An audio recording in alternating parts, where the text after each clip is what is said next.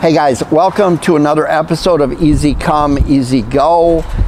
There's a playlist up there as a series of stories in which I take a guitar or several and trade them up to something that's more desirable, at least to me, and that can encompass just about anything. I am on 62nd Street East, directly south of Los Angeles, downtown Los Angeles, and we are, the flight path to the airport is right up here. These buildings were built in 1929, opened in 1929. They're all brick buildings, and some of them have an Art Deco-y, curvy thing here, kind of like there's some Art Deco on this guitar case. So why are we here? Well, part of what's in this case was built, I believe, in this building, this very building right here, in the early 1930s. So what's going on here? Well, there were two people that formed a partnership. One of them was a vaudevillian, and he was looking for a guitar maker that would be able to amplify the sound of a guitar. And I think he was looking for what we know to be the coil. There was a Czechoslovakian immigrant who was one of a number of brothers who had figured out how to put a cone or a speaker like kind of what you would see in a Victrola, a horn, inside of a guitar body, one, two, maybe even three of them. So the vibration would amplify out of the guitar. So they had a partnership for a couple of years. And then one morning, the Czechoslovakian person, I think who was doing most of the work, just decided, as the foreman of the factory, I'm done, walked out, set up shop for a couple months, not too far from here, and then moved into this building and began development of guitars and parts thereof to supply to other guitar manufacturers. In other words, we would put parts of what we're doing into another manufacturer's guitar. That was in 1929, and that's where our story starts with what's in this case. Let's take the next stop to figure out how did I get this guitar and what did I trade for it? Rob's on a Friday night. It's been a great night for me. We brought in some traders. None of these, this is what's on the wall. If he doesn't have it, I don't know what to tell you. There's everything in here you could possibly want. But Tam and I brought in a truckload of guitars there we go, 1960 Harmony H12. We got Davidson single cutaway, arch top. We've got a Kay resonator in good shape. This is a Jay Turser body. And then we get into everybody's favorite Christmas guitar, the Silvertone Kentucky Blue Bob Log Special Clean One owner.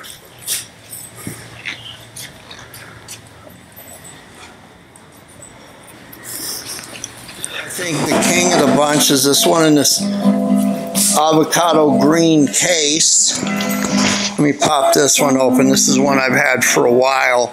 You saw it on an episode called Hector's Guitar. There it is, 1958 airline. It was the equivalent of the Kay Pacer, clean one owner, original everything, speed bump pickups, original knobs or whatever. See you later. We got something else going on now. This is a lot of driving around California, picking up guitars here and there, and they'll come into Rob's and they'll end up with some work and a nice home to somebody that is looking for something affordable and dependable. Rob's over there doing the paperwork now or after.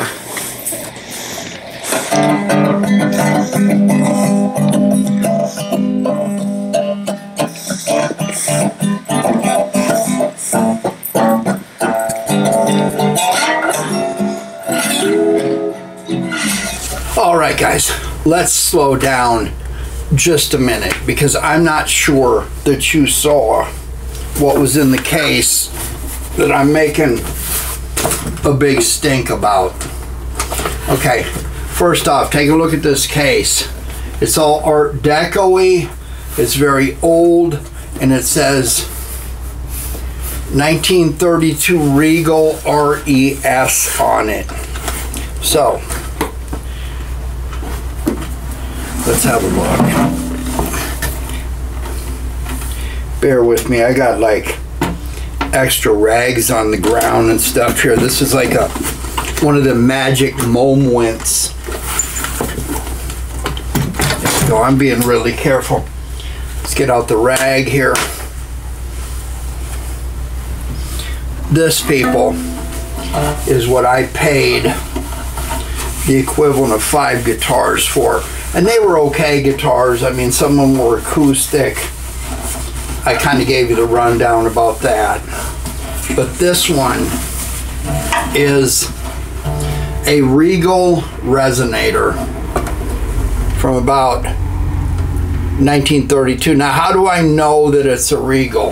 Well, remember that first place we stopped at? Yeah, they built cones there. So my big question before I do the run through on this is this.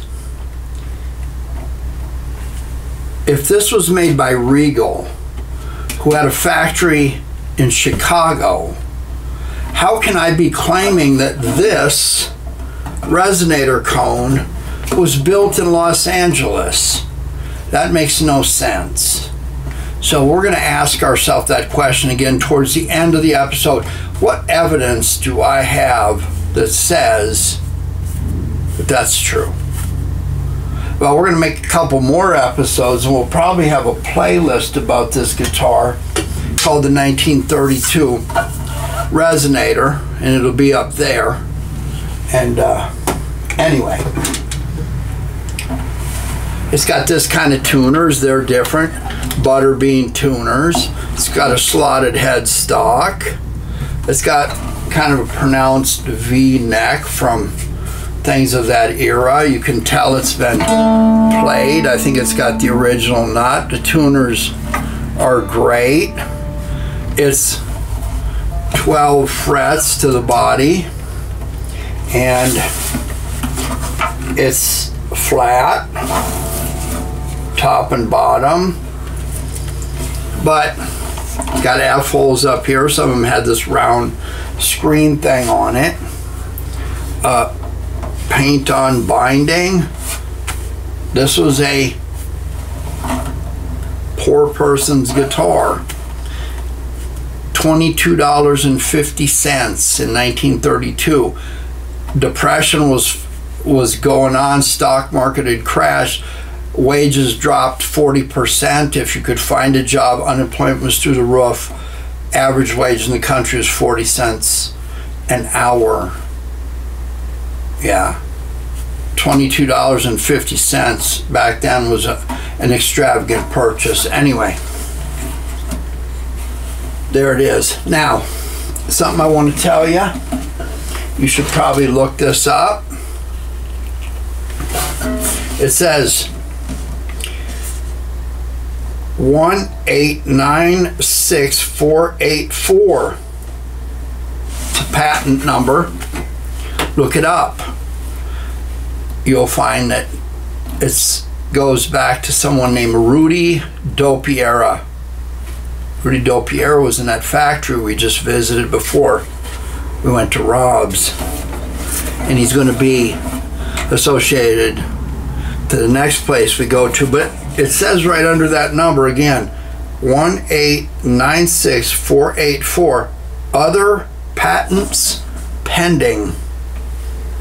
Something tells me that when this was built, there was some squabbling going on. I touched on that while I was sitting in front of the brick building. Anyway, this is what it is. It's a wooden bodied resonator with what I believe is a Dopyera cone. Let's go to the next stop. It's going to get real interesting now. It's already interesting. It's on my channel.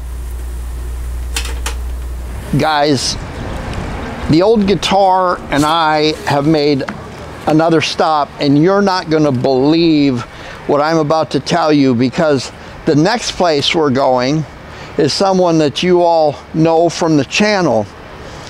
But believe this or not, in the 1970s, the person we're going to see actually used to visit this place and speak with Rudy Dopyera, who was in his 80s by then, and a couple people who used to assemble guitars here under the brand name Hound Dog. And this was before things would go to Huntington Beach and ultimately be sold to um, Gibson. Anyway, I am on Gaylord Avenue in Long Beach, California, cultural capital of the world, at what used to be a factory, a Dopyera factory. You're not going to believe this. Small world, people, small world. Let's hit the next stop. All right, here I am again.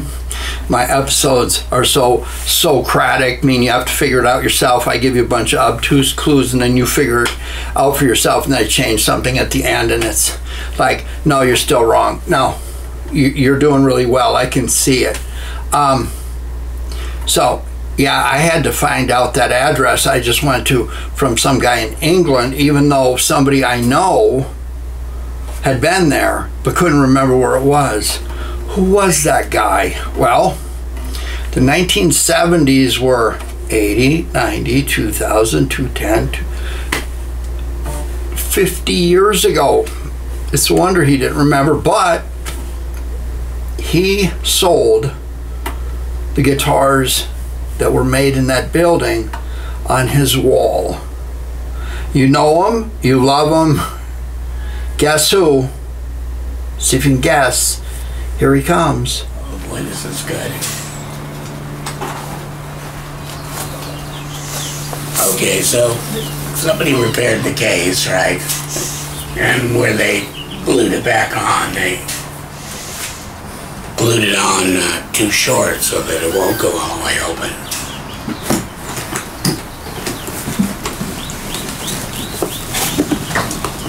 That's easy to fix. Oh, by the way, this checking, no doubt it was made in the winter in a cold shop. Because this is a different kind of weather checking. This, this is real typical of something that was lacquered in a cold, cold shop. You want to see what would happen if we... Okay, let's have some fun.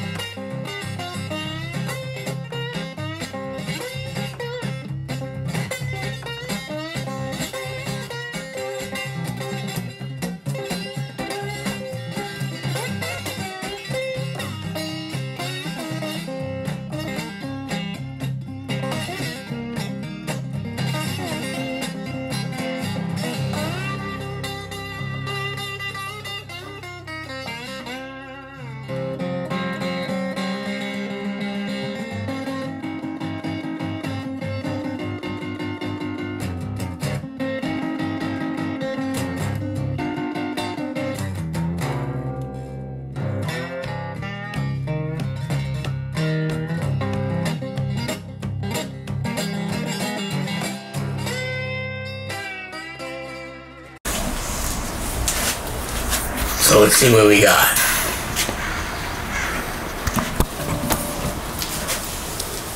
Oh yeah. Oh yeah.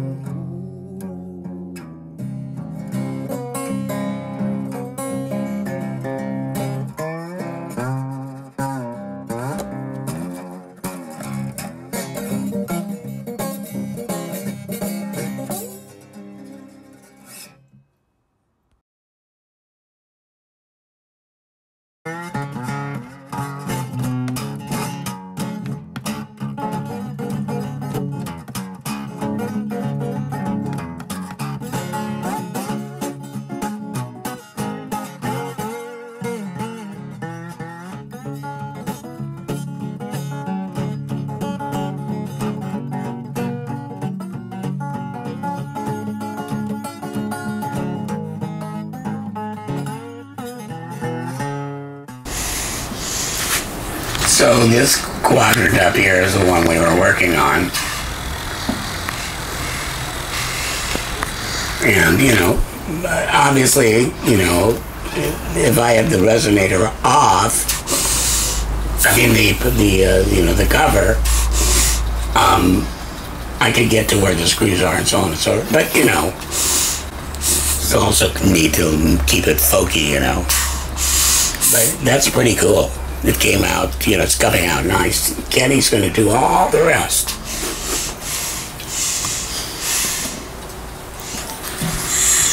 And, and, we could really get to even more of this finish if we wanted to. Um, you know, I didn't want to proceed with, I wanted to proceed with caution, so I stopped right there, but we could have gone on more. Anyway, so it is. All right, guys, let's bring this to a close. I really enjoy episodes like this because it sends me off on a wild goose chase. Uh, it takes care of my dopamine needs with that ADHD. Yeah, I said it. You might have it too. It's what makes us good. Anyway, you never know what's going to happen at Fred's. I was shooting some footage that day about a young guitar virtuoso. He started off when he was about 10 playing electric guitar. He had deals with Gibson and Fender and other people by the time he was 12 and 15 years old. And then he switched to classical guitar, and he is something else. His name is Garrett Podgorski, P O D G O R S K I. Garrett Podgorski. Get to your whoever's selling you your music, find his Preludes album. Preludes, it's great. It'll put you to sleep. It's great stuff. Anyway, since we were shooting him playing a guitar, I just got this bright idea. I'll just hand him this. It wasn't tuned. Uh, who knows? I just handed it to him and said, see what you can do with this. He looked at it and you're going to see what happened right now. So thanks everybody. Give me a like if you like this kind of episode. Give me a comment below and let's see what Garrett can do with this guitar and a cone that was made in Los Angeles somewhere about 1932.